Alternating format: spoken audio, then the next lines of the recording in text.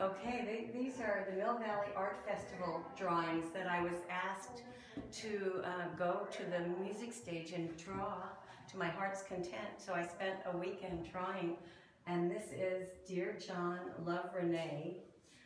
Um, I know her from another band, but it's so great to see this new composition of theirs, and it was really fun to draw in the redwoods great stage, but I realized drawing in color would be an issue in 45 minutes producing all these drawings. So here I started to do work on, you know, color hues, but only a few colors because it ended up being really hard to pull it all off with five people on stage for 45 minutes. And then I wanted to add the children because they were so cute dancing. And of course, I finished these in the studio. But to be working on these in front of um, over 50 people sitting in the audience, I don't know how many people, it really took a lot of daring for me because usually I work really small on the books. So making these bigger drawings was a stretch and I feel pretty good about the way they look. And it's interesting, the, the ones that people like, what one of my friends really loves these stacks of jazz musicians. And then Barrio Manouche, they're kind of a favorite band of mine, so I really like them.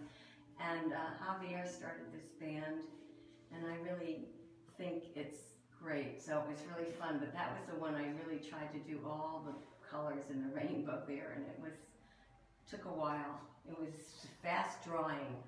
And then the John Henry Hands on Fire is a new band for me, and he brought all these children up on stage with him, and I just love the heart and soul that he showed, and I hope it comes through in the drawings. Loralee Christensen, then I finally realized that if I just drew one person, it could be excellent. And of course, since it was her band, I felt it was okay to just draw her. And it was very fun because she came over after and she said, no one ever draw, drew me before. And so I got a picture of her with her drawing, which was pretty fun to do.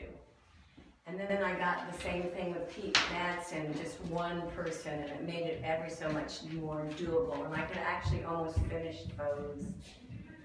And that is the eight drawings that I did at the Mill Valley Art Festival. And then this is my series on waiting, which I've started trying to learn being still, being quiet has always been a real problem for me. And as I am usually pushing the river, doing something, just trying to shake it up and make it happen.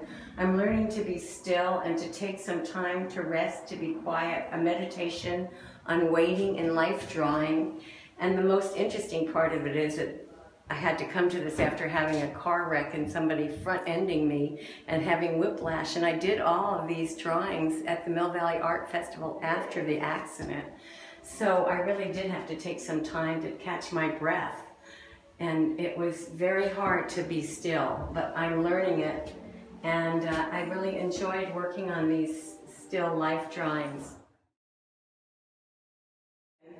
And I love this book because I got to go to Brennan's and get my own personal Bananas Foster, and that's the cover of the book. But uh, the Monk Boudreaux, getting to see him and all of these great artists was really fun and getting to meet a lot of them and, and just enjoy it was a great treat and it was really exciting to be at the French Quarter Fest and I'm really honored that they allow me to get up close and personal with all of these artists.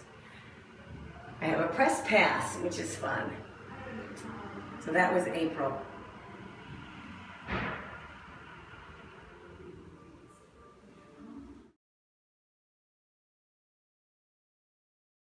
So this is Hardly Strictly Bluegrass 2015, and it was an issue because I had a sprained ankle and whiplash and uh, vertigo, but I still went to the festival and spent two days drawing. I couldn't go to many stages, but I think the simplicity of just being able to draw a few of the acts, uh, I think it, people really like this book.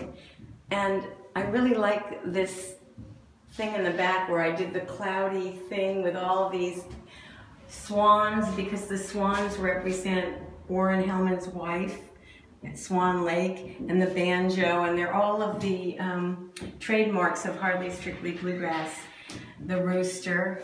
And I really enjoyed so much all of these musicians.